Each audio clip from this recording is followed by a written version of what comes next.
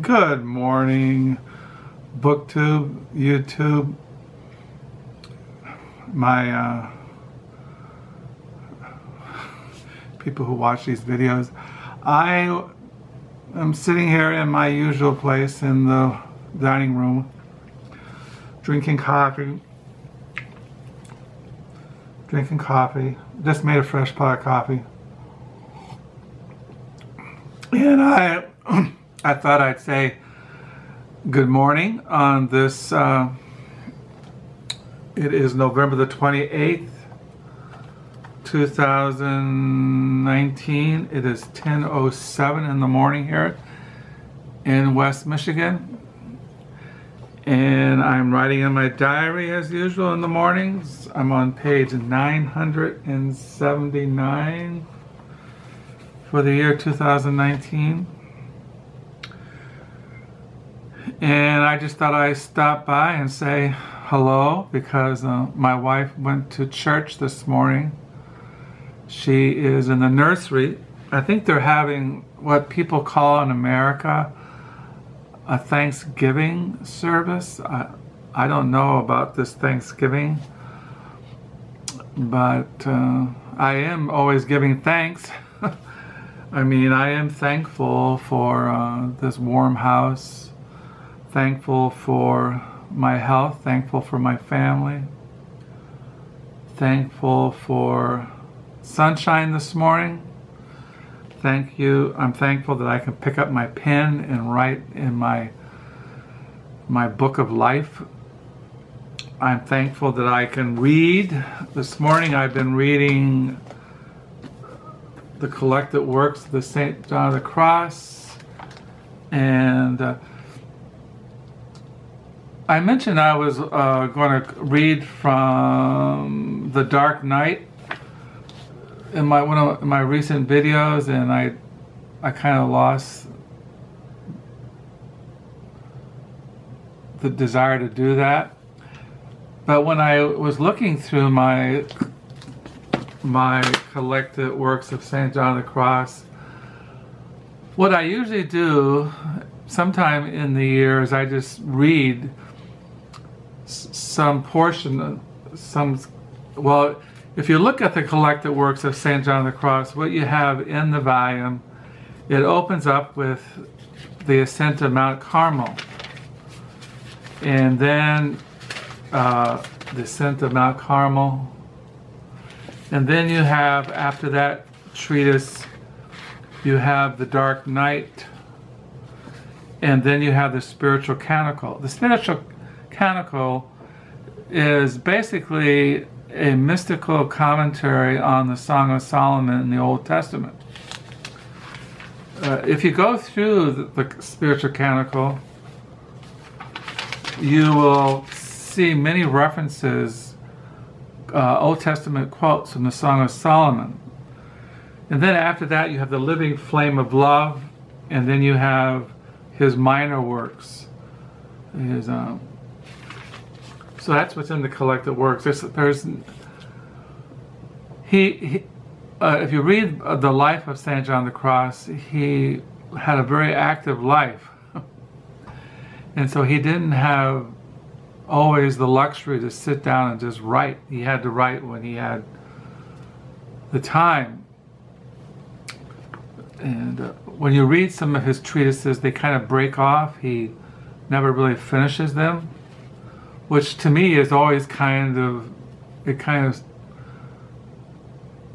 kind of it's not kind of sad but i wonder if he what if what he would have written if he was able to write the everything that he wanted to write and he had time to write.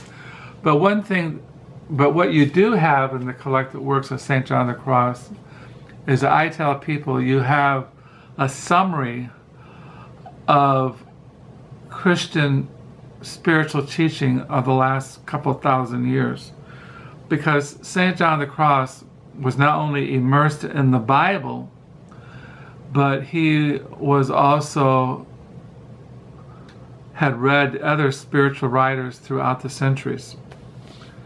And when you read him, you can see uh, like a systematic presentation of Christian teaching that had been passed down from the, the Desert Fathers, from the Eastern Orthodox Fathers, the medieval Carthusians, the Franciscans, the uh,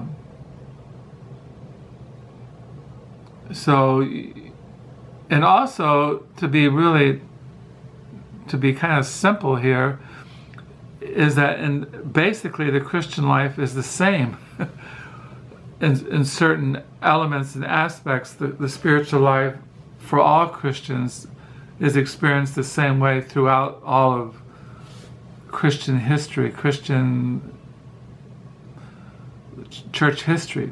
So you'll find a certain kind of conformity or certain things that are always taught and emphasized and experienced by Christians, men and women, throughout church history.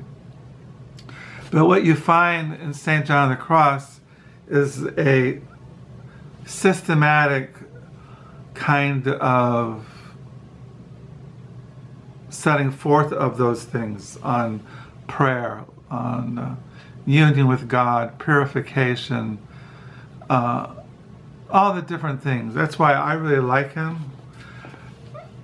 And but it's also good to read the Carthusians, to read Saint Augustine, read Gregory the Great, read supremely read the Bible. The, immerse yourself in all of Scripture, the Old and New Testament. One thing I like about reading St. John the Cross is he's always quoting Scripture. Now, you might not always agree with how he exegeses the text, but what he sets forth to me is basic, the very basic spiritual truths about the spiritual life and what the Bible teaches. Now, you have to remember that St. John of the Cross wrote to women and to men who were contemplatives they were men who and women who felt called to a life of prayer. Another good book I I came across this recently at the Book Nook is this book Fire Within Saint Teresa of Avila, Saint John of the Cross, and the Gospel on Prayer by Thomas Dubay. This is really a good. I've read a lot of books on Christian spirituality, mystical theology, the teachings of Saint Teresa of Avila and Saint John of the Cross. This is a very good overall overview, and I recommend it. I keep it by my my desk in my main study. So yeah, this morning I was reading the the. I just start reading uh, the Ascent of Mount Carmel. Usually I'll read it. They're not. It's not long. You can probably read it in probably two weeks. I read it in the mornings. This is my other copy of Collected Works of St. John of the Cross. I have three copies, like I told you. I have this copy, I have this copy, and I have this copy. This is the one I'm reading this morning. I like it because it just opens up. And whereas this one is kind of beat up and it kind of doesn't stay flat this one I I just like it because it's it also stays flat. I also have it on CD-ROM. I can put this in my computer, in my laptop, and I can read it. It has the two different translations. It has the collected works of St. John of the Cross, translated by Kavanaugh Rodriguez translation, and then it has the complete works of St. John of the Cross, the E. Allison Peers translation. I like I like the Kevin Kagala can't pronounce his name translation, but you can get it on CD-ROM. It's also you can read it online. The collected works of Saint John of the Cross. You just go to your search engine, and they're all online if you want to read them online. I also recommend this book on Saint John of the Cross, The Life times and teachings of St. John of the Cross, God speaks in the night. And this is just a big reference thing by different scholars, uh, Carmelite scholars. on St. John of the Cross. It's really, it's really very thorough if you want to read about his life and not only his life, but St. Teresa of Avila. It has all kinds of, it's just a big book. I, I look at it all the time, but it's a good reference thing if you're really into St. John of the Cross. So I was reading that this morning on this day of giving thanks. I think I, I'm really thankful that I can sit down in this warm house in this suburban neighborhood in this quiet little cell and I can read St. John of the Cross. I can read the Bible. I got my Bible out. I can sit here writing in my diary. I can drink coffee. I can listen to classical music. I can, I'm free. I don't have to worry about bombs dropping on me. I don't have to worry about snipers. I don't have to worry about starvation. The Lord has blessed us richly, and I am very thankful. Also, I've been reading this morning. I really recommend the Reformation Commentary in Scripture. I recommend all of them. It's good to read Christians throughout church history to read the Spanish mystics, to read the Desert Fathers, to read the Carthusians' monastic spirituality, to read the 17th century English Puritans, to read you know modern New Testament scholars. I've shown you J.K. J.K. Beale and people like that, and but supremely we must read the Bible, study it, pray over it, ask God, the Holy Spirit, to teach us and to open up the riches of God's Word. And then we judge everything by God's Word, everything that we read, whoever it might be.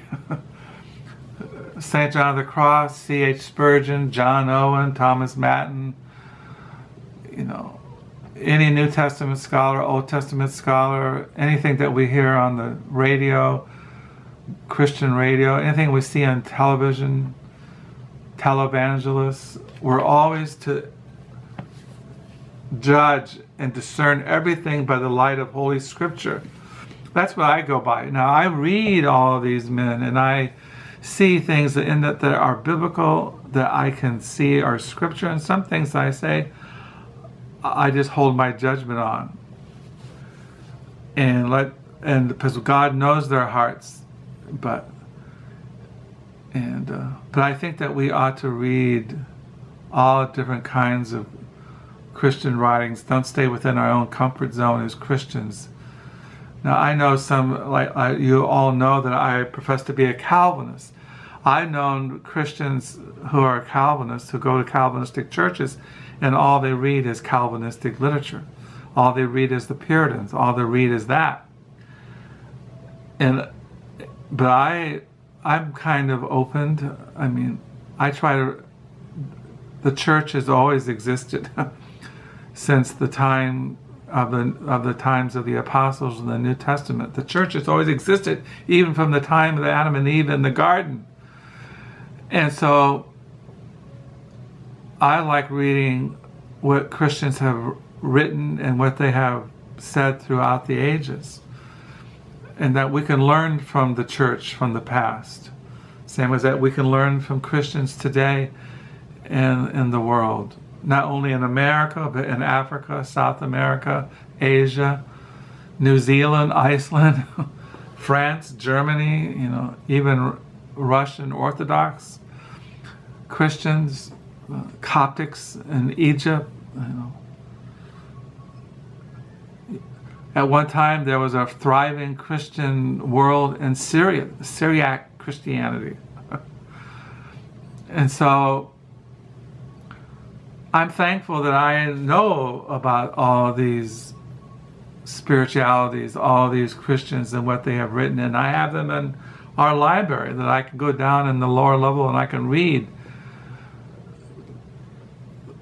writings of these men and women throughout church history. So I'm thankful for those things. But like I said, we must read the Bible. We don't want to lift up men and women. They're just they're just in, imperfect. They don't have the full truth of God's word.